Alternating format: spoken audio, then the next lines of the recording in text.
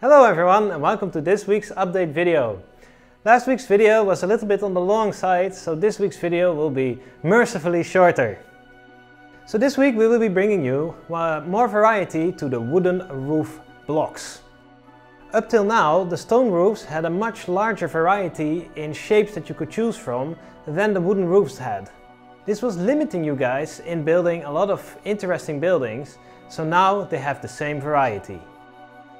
We also fixed a bug that we inadvertently introduced last week. We allowed house members to pay taxes at your claim blocks.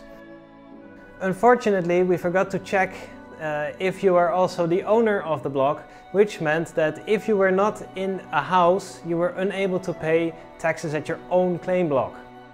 It was very simple fix, so this is in this update as well.